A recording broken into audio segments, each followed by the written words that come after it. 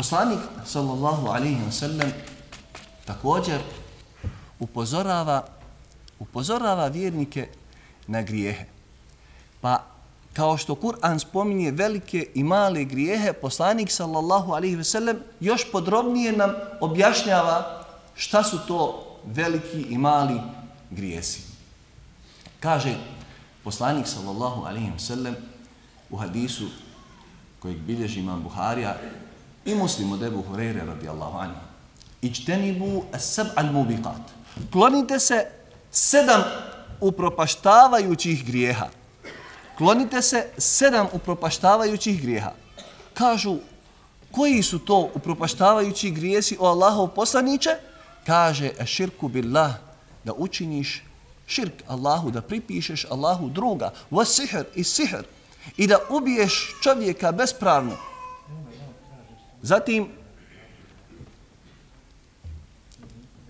da se uzima kamata, zatim da uzimaš imetak jetima, da se pobjegne sa bojnog polja i da se potvaraju vjernice čestite koje su prema tom grijehu nemarne, odnosno nemaju nikakve veze sa onim zašto ih potvaraju.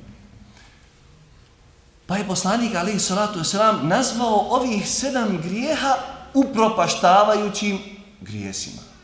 Iako su veliki, imaju oni koji upropaštavaju i oni drugi koji baš to i nisu, odnosno nisu toliko opasni grijesi.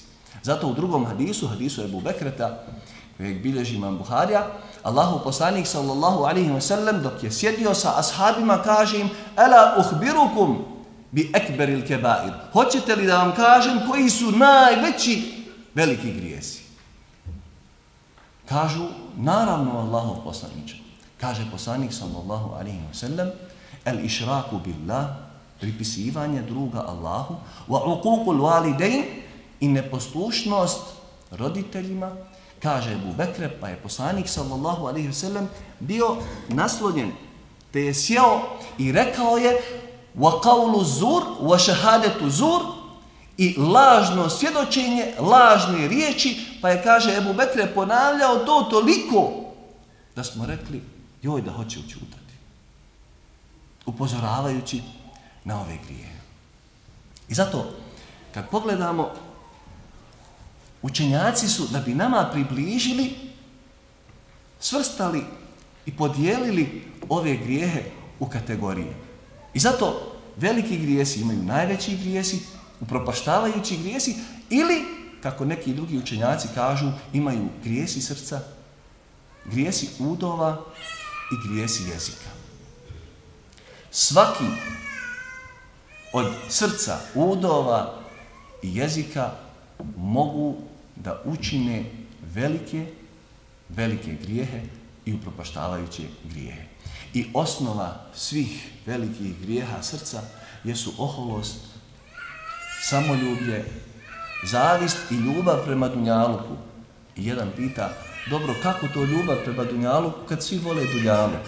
Naravno, čovjek je po prirodi, po prirodi voli Dunjaluk, ali ljubav prema Dunjaluku Ona koja je veliki grijeh jeste ona zbog koje si spreman da prodaš vjeru, zbog koje si spreman da uradiš druge velike grijehe, zbog koje si spreman da ostaviš namaz i bilo kakav drugi obavezni propis koji ti je Allah naredio i svoje milosti. Zatim, od grijeha udova najčešći su zinaluk, blud, ubijstvo, udaranje, bespravno udaranje i krađa i otimačina. A od grijeha jezika na prvom mjestu su gibet i nemimet. Gibet, kao što je rekao poslanik sallallahu alaihi wa sallam, jeste dikruke ehake bima je krah, da spomeneš svoga brata muslimana po onome po čemu ne bi volio on da ga spominješ. A nemimet jeste prenošenje riječi s ciljem da zavadiš između dva čovjeka ili između čovjeka i žene, ili između kolega na poslu. I sve ove stvari spomenuo je nama poslanik, ali i salatu selam, i na njih nas upozorio.